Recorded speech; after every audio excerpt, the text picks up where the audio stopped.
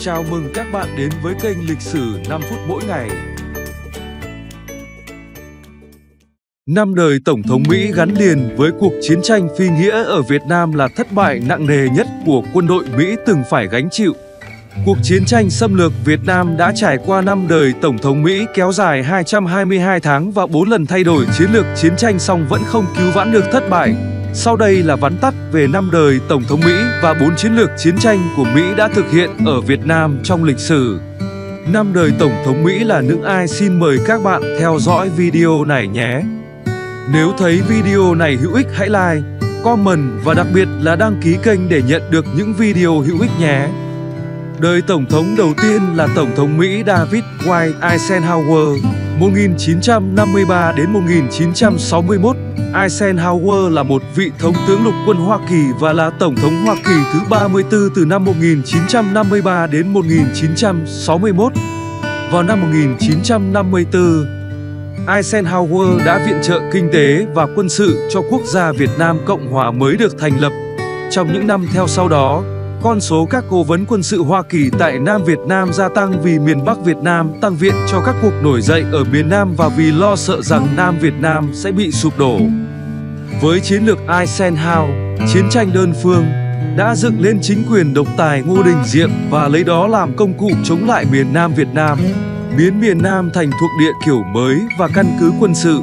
Sau đó, Mỹ liên tiếp mở hàng loạt chiến dịch tố cộng để tàn sát những người kháng chiến và yêu nước ở miền Nam Việt Nam. Năm 1959, Eisenhower đã thực hiện các chiến dịch tố cộng, diệt cộng, tăng cường khủng bố, đàn áp, ra sắc lệnh đặt Cộng sản ra ngoài vòng pháp luật, thực hiện đạo luật 10 phần 59. Năm 1959, lê máy chém khắp miền Nam, giết hại những người vô tội. Trước hoàn cảnh đó, Hội nghị Trung ương Đảng 15 tháng 1 năm 1959 xác định cách mạng miền Nam không có con đường nào khác là sử dụng bạo lực cách mạng đánh đổ chính quyền Mỹ Diệm. Năm 1959, 1960 phong trào đồng khởi đã nổ ra, giáng một đòn vào chính sách thực dân mới của Mỹ, làm lung lay tận gốc chính quyền tay sai Ngô Đình Diệm. Đời Tổng thống thứ hai Tổng thống John Fitzgerald Kennedy, ông là Tổng thống thứ 35 của Hợp Trung Quốc Hoa Kỳ, tại nhiệm từ năm 1961 đến năm 1963. Các sự kiện chính trong nhiệm kỳ Tổng thống của Kennedy gồm có vụ khủng hoảng hỏa tiễn Cuba, xây dựng bức tường Berlin, cuộc chạy đua thám hiểm không gian, giai đoạn đầu của chiến tranh Việt Nam và phong trào dân quyền. Trong chiến tranh Việt Nam Kennedy với chiến lược chiến tranh đặc biệt 1961 đến 1965 đã xây dựng quân đội ngụy Sài Gòn mạnh với vũ khí, trang bị và cố vấn Mỹ tiến hành bình định, lập ấp chiến lược nhằm tiêu diệt các lực lượng vũ trang và chính trị của cách mạng miền Nam, thực hiện bình định Việt Nam trong 18 tháng. Về chiến lược chiến tranh đặc biệt của Mỹ ở Việt Nam, đây là chiến tranh xâm lược thực dân kiểu mới, tiến hành bằng quân đội tay sai là chủ yếu, dưới sự chỉ huy của cố vấn Mỹ, dựa vào vũ khí, kỹ thuật, phương tiện chiến tranh của Mỹ. Đề ra kế hoạch Starlight Taylor Bình Định miền Nam 18 tháng, tăng cường viện trợ quân sự cho Diệm, đưa vào miền Nam nhiều cố vấn quân sự, tiến hành dồn dân lập ấp chiến lược, trang bị phương tiện chiến tranh hiện đại, sử dụng chiến thuật trực thăng vận, thiết xa vận, liên tiếp mở nhiều cuộc hành quân càn quét, tiến hành phá hoại miền Bắc. Nhân dân ta kiên cường đấu tranh chống trả quân xâm lược, đến năm 1965 Mỹ thất bại trong chiến tranh đặc biệt. Đời Tổng thống thứ ba, Tổng thống Lyndon B. Johnson, ông là Tổng thống Hoa Kỳ thứ 36, tại vị trong giai đoạn 1963-1969 với chiến lược chiến tranh cục bộ 1965 đến 1968. Mục tiêu của chiến lược này trực tiếp đưa quân chiến đấu từ Mỹ sang thực hiện chiến lược tìm và diệt. Tiếp đó là chiến lược hai gọng kìm tiêu diệt chủ lực đối phương và bình định miền Nam, đẩy mạnh chiến tranh phá hoại miền Bắc trên quy mô lớn. Với chiến dịch sấm rền cùng kế hoạch chiến lược được chia làm 3 giai đoạn hỏng giành thắng lợi trong vòng 25 đến 30 tháng. Trong cuộc chiến tranh với Việt Nam, Tổng thống Johnson tăng cường tập trung vào cố gắng của quân đội Mỹ ở Việt Nam. Ông ta tin chắc chắn rằng chính sách kiềm chế đòi hỏi Hoa Kỳ phải có một sự cố gắng đáng kể trong việc chặn đứng sự bành trướng của chủ nghĩa cộng sản. Ông ta đã gia tăng nỗ lực chiến tranh liên tục từ 1964 đến 1968. Với thắng lợi của nhân dân ta trong cuộc tổng tiến công và nổi dậy xuân năm 1968 đã buộc Johnson phải xuống thang chiến tranh ngồi vào bàn đàm phán với ta tại hội nghị Paris. Đời Tổng thống thứ tư, Tổng thống Richard Milhouse Nixon, ông là Tổng thống thứ 37 của Hợp Trung Quốc Hoa Kỳ. Nhiệm kỳ Tổng thống của ông bắt đầu từ năm 1969, kết thúc khi ông từ chức vào năm 1974 khiến ông là tổng thống duy nhất từ chức trong lịch sử Hoa Kỳ. Sau cuộc bầu cử, chính quyền Nixon theo đuổi một chính sách Việt Nam vô cùng nguy hiểm.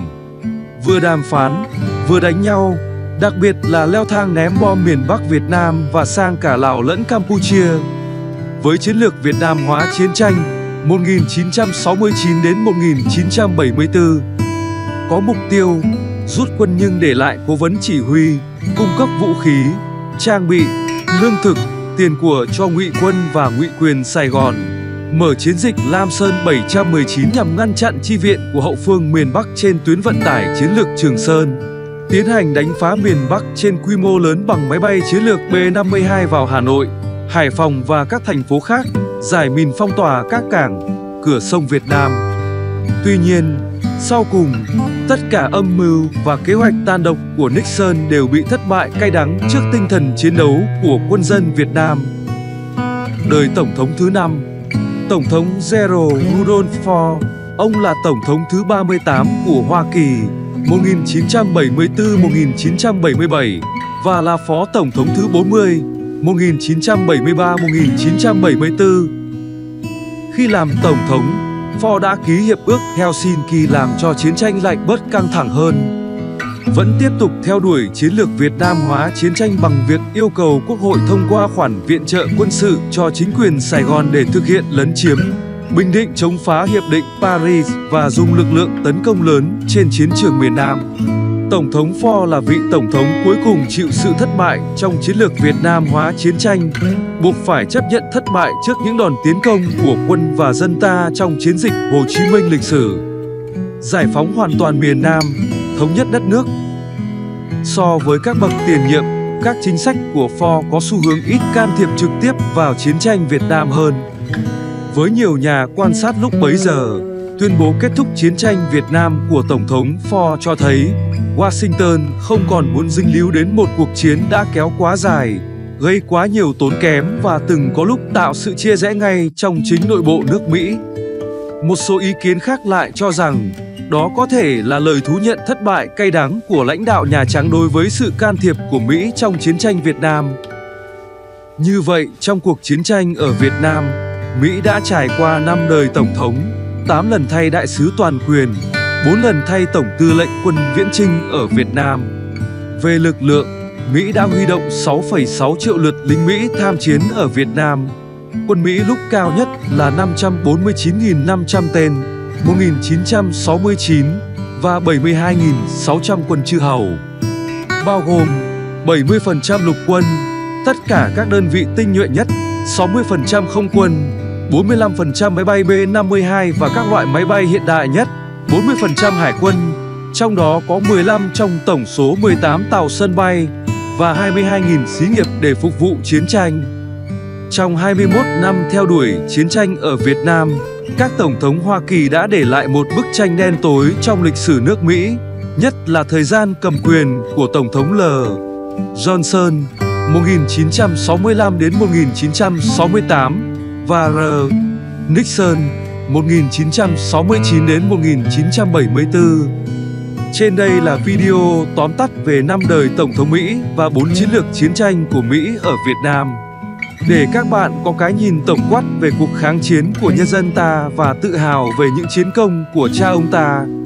Nếu thấy video này hữu ích hãy like, comment và đặc biệt đừng quên nhấn nút đăng ký kênh lịch sử 5 phút để nhận được những video hữu ích nhé. Hẹn gặp lại các bạn trong các video sau.